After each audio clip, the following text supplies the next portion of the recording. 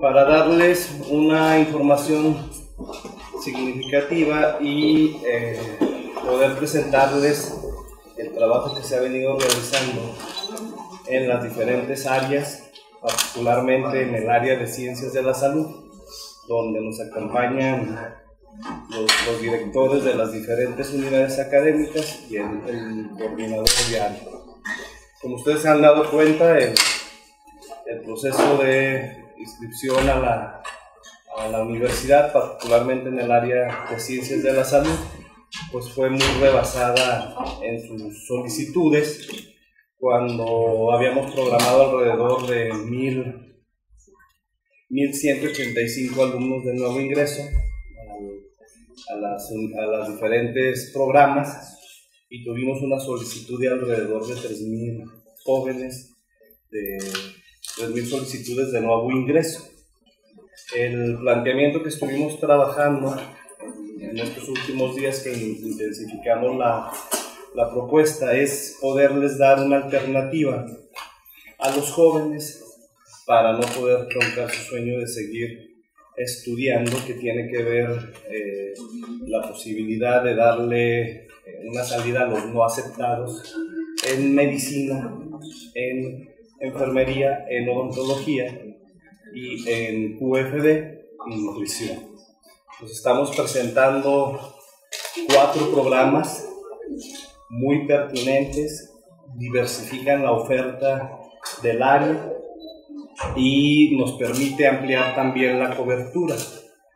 Va a ser un ejercicio donde pretendemos aceptar a 420 estudiantes, todos ellos que no fueron aceptados, en, en programas pues muy pertinentes, innovadores en, en, estos momentos. Estamos hablando de los programas de bioquímica, será un primer programa que se ofertaría, biotecnología, salud pública, fisioterapia.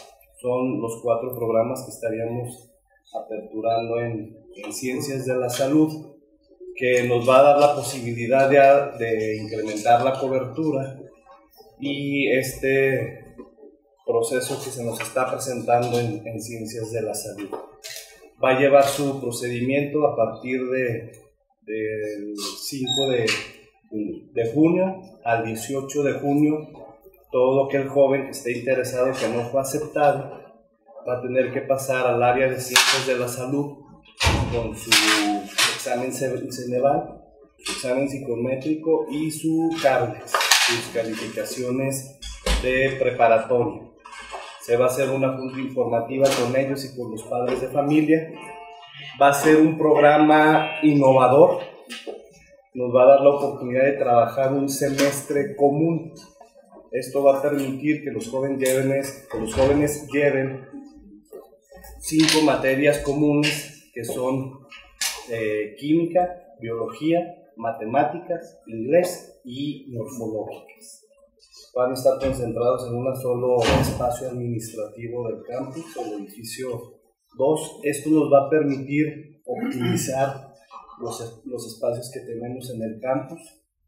El turno va a ser vespertino, va a ser a partir de las 2 de la tarde a 7 de la, 7 de la tarde y nos va a permitir pues ocupar la capacidad que tendría el, el campo. Entonces, por ese lado, en el caso de ciencias de la salud, les estamos ofreciendo una alternativa a muchos jóvenes que no fueron aceptados, pero que observamos que tienen la capacidad para seguir este, con sus estudios universitarios. Entonces, eh, es básicamente la información, todo les van a a dar los pasos a seguir en el área. Conforme se vayan conformando los grupos, se van a estar citando a los jóvenes, a los padres de familia, para darles la información, toda la información que se necesita para estas nuevas carreras.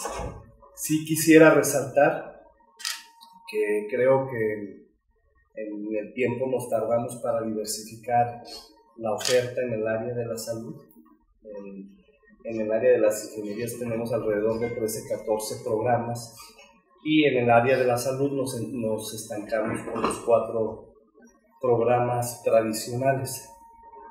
Ya sé cuál es su pregunta, de dónde y cómo le vamos a hacer. Históricamente, históricamente se habrían ocho grupos más en los diferentes programas tradicionales.